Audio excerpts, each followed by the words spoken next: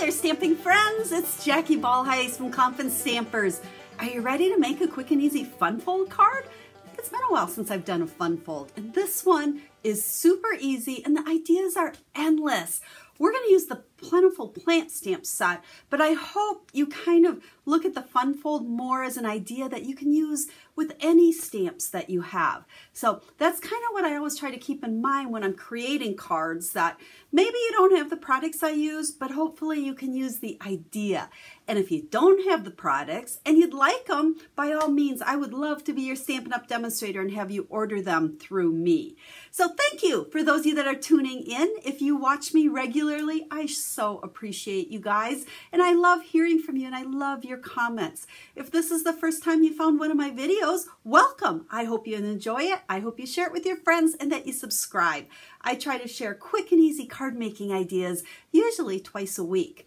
Now, speaking of Stampin' Up, if you don't already have a Stampin' Up! demonstrator, I'd love to be that person. And guess what? Right now, during August and September, it's celebration. That means with any purchase you make, that's at least $50, you get to select free items from Stampin' Up. And it's also the best time to join Stampin' Up! and the Klompen Stampers. Come join my team. I'd love to have you. Whether you're looking to build a business or you're just a hobby stamper, we love to have all of you. We do so much as a team, most of it virtually so that we can, you know, accommodate everybody. And most of it's really geared towards those of you that are hobby stampers. It is one of the best ways to get the most ideas, have fun with a fun community of stampers and participate in some fun virtual events. I'd love to have you. If you'd like some more information or like to chat about it, reach out to me. Now, that's enough chit chat. I'm ready to flip this camera down and let's get making our fun fold. Hold on. As I mentioned, the stamp set we're using is Plentiful Plants. This actually is a bundle. There's coordinating dies with it. I've, had, I've shared several other projects with it already. Now, if you want to see those, on my website, and I'll have a link down in the description of this video. It'll take you to the blog post for today, but it'll also kind of guide you to see some of the other projects that I've done with it. Now, we've got a lot of parts and pieces to this card. And I have them all pre-cut. And I'll have pictures of um, both the card I'm making as well as all these cutting measurements for you on my website as well. Just follow that link and it'll take you to it. So that way you can just kind of sit back and watch how I make this easy card. And then if you'd like to make it too, go grab the measurements over there. So like I said, lots of parts and pieces. Now I think this card is actually called a Dutch door or a double Dutch door card. I, you know, I don't get all wrapped up always in, in official names, I guess, of fun folds. And I think sometimes people call them different things. So we're just calling it a fun fold. Now, our first piece here is actually four and an eighth by eight and three quarters. And we are going to go ahead and score it at five and a half. Now, I do have both my cutting and scoring blade on here, so I got to make sure we use the scoring one, which is the lighter one. I like to go back and forth a few times. So there is that part. So we're just kind of making the card base. So we need this piece, and then we also need this strip here. And this is eight and a half by two and a quarter, and we're going to score it at two and an eighth from each side. So two and an eighth in this way, two and an eighth in that way. Now, I use a lot of eighths, and this card's using a lot of them. So I just want to show you, and we're going to zoom the camera in here. I know some people struggle, and your cutter might be a little different. Let me move this down, make sure we're in the view of the camera there.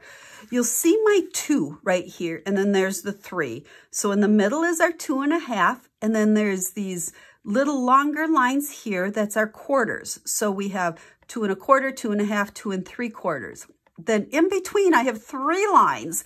So the bigger of those in between lines is our eighth mark. This one actually does sixteenths as well, which I never cut stuff at sixteenths, but I do use the eighth a lot. So it's the two plus actually two little lines right there to get to that two eighth. Okay, so what, what did we say here? Two and an eighth, so we're gonna put it right there we're going to score on that, and then we're going to go ahead and flip it around, and we're going to do two and an eighth over on this other side. I think that's all the cutting and scoring, so we can set that aside. And then I, even when I score, I like to use my bone folder. And we're going to go ahead and get that nice crisp fold right there. Same with this one. So there's that part. And then let's do this one as well. So here is the base of our card. Next, we're going to grab some D designer series paper that I already cut. And let's just glue this on so we can then kind of set the, um, glue's got to get started here. We can set these pieces aside while we do our stamping. So we're going to take this piece and again, let's see, measurements, I think on this one are four by three and an eighth. Um, double check on my website. So there's that one. And then on this piece, we have two little pieces that are two by two and an eighth. So again, lots of ace. I played around with kind of some different measurements trying to make this card work the easiest for you. And you know what happens when you take cardstock and you score and fold, you lose a little bit of its size. And that's why we had to, had to get those ace in there to make this work. Okay, so there is that part. And what we're going to do, and this is kind of making that card base, is this is going to be adhered right behind it. So our card will actually open like this. This piece will come up and these will open. So why don't we do that right now? And then we have the whole base of the card done. So we got our adhesive in there. We're going to stick that in the middle and just kind of center it left to right between those fold lines. Get it nice and even with the bottom. And we'll stick it on like so. So there we go. Let's set that aside. And the next thing we're going to do is some stamping. We're going to start with our basic white here. That's 2 and 7 eighths by 2 and 7 eighths. And we are going to stamp a plant from that plentiful plant. So let's start by making our pot. Like I said, there are dies that go along with this, but we're not using the dies today. We're going to just do some basic stamping. So we've got the cinnamon, and then we're going to use soft succulent. Really, really, really liking these colors. So there's our soft succulent. And then we're going to use the evening evergreen. And we're going to just stamp this right on top of there. So it's kind of coming down and flowing out of that plant. So there is our stamped piece. And I have a piece of that evening evergreen, if I can grab it over here. And we're to just go ahead and layer that. Oops, there's my little cheat sheet with some of my measurements.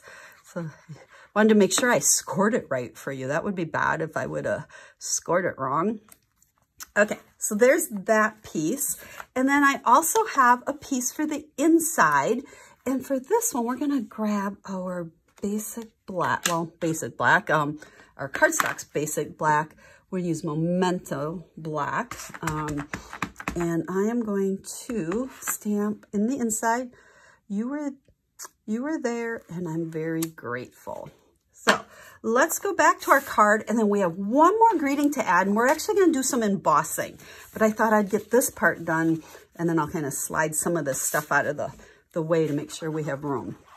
So inside we have a normal inside of a card, four by five and a quarter. We'll just get that on there. Okay, remember it's holding up down. Whoops, I bent it. There we go. And then let's grab some dimensionals. Now you want to be a little careful here because this is going to go, you know, kind of in the center, but we want to make sure it's only adhered on the top here. So what I'm going to do is just put three dimensionals across the top. We'll go and then down a little bit to hold it on there. We want to make sure we're, we're not sticking our card closed. So let's peel those off. And then close this up and we'll kind of go, you know, center it left to right. You know, there's really no magic spot. So there is the most of our card. The last thing I want to do is add a greeting onto the front. So we're going to do some heat embossing, but I want to just move these stamp pads. So hang on a sec. A lot of time when I do heat embossing, I'll pre-do it for the video. I don't always show it, but every once in a while it's like, oh, time to show it just to remind you or show those of you that are new. Heat embossing is really simple. One of my favorite things to do is use white embossing powder on black cardstock. Now, part of it will depend on the part of the country you are and, you know, how much humidity is there in the air, how oily your hands are and how much you've cut, um, touched the cardstock. But what we want to prevent is specks of the embossing powder sticking where we don't want it. Now, I have a little thing here called an embossing buddy. and I just kind of rub it on there and essentially it takes the static off that cardstock. Sadly, Stampin' Up! doesn't carry these anymore. Um, I believe you can find them online someplace, uh, maybe Google Embossing Buddy, but what you can use is a dryer sheet. Um, some people say a brand new one. Some people say one that's been used. So I honestly, I don't know because I've never tried one because I don't use them dryer sheets. But I know that is something else that will work and you just rub it across just like I did with the embossing buddy. Then we're going to use our stamp and I have the Love You here. We're going to use Versamark ink, which is essentially a clear, kind of sticky, slow drying ink. You can't see anything. And then we take our powder and dump it on and tap it off. And hopefully all the extra powder should just kind of fall off. So you don't, you know, want it on the outsides. Give it a tap, give it a little blow, um, but you should be able to get most of that powder that's not part of your image off of there. Then next, we're going to go ahead and take our heat tool, little reminder, make sure your powder is far away so you don't blow that out of your container. And turn on the heat tool. And hopefully you can still hear me, but you're to just kind of move it around. If you haven't used the heat tool yet today, it takes a little bit to warm it up. But once it's warm, you'll see that powder turn shiny. And it usually starts at one end and then kind of moves towards the other end. Once it's shiny, it's done. So don't keep that heat on it. Move it and because what'll happen, oh, there you can see, see the top of the L? And then it's gonna just keep moving, going all the way across. We'll get that U. And as soon as it's done, it's done. Because if you overdo it and you continue to put heat on it, it'll actually kind of flatten it out and it won't look so good. And that's all there is to heat embossing. Now you could trim this out, punch it out, whatever you want, but what I'm gonna do is fussy cut it. Um, I know sometimes people are afraid to do this and it always looks like I'm going exactly around all the, the letters, but I'm just kind of going zig, not zigzag, but um, rounding it real roughly around the outline you know, get as close as you can without cutting it, but it's not like it's exactly perfect around each particular letter. But if you just kind of go up and down, it looks like it. So we'll bring it all the way around here in our L, there we go. And we've got the Love You. Now I think I'm gonna need to get the mini dimensionals for this. So let's just flip that over. I like to use my Take Your Pick tool when I use the mini dimensionals because I have a really hard time picking them up off the paper there. And then I can just poke them and get those pieces off like so. And then we're going to just go ahead and close up our card just add our love you on there. So there is our Dutch door fold or double Dutch door fold. I don't know what the official name is, but it's a quick and easy fun fold. So again, I will have all of these measurements for you over on my website, links down in the video description, and you can get all the measurements, pictures of this card, and that way if you'd like to make it with either these same products or with any other products, you'll be able to do that. If you'd like to place an order, I'd, again, I would love to be your demonstrator, and over there, I will have a list of everything I use, but also the link to order. If you have any questions, as always, reach out to me. I'm here to help you in any way that I can. So we'll be stamping again real soon. Have a stamp happy day.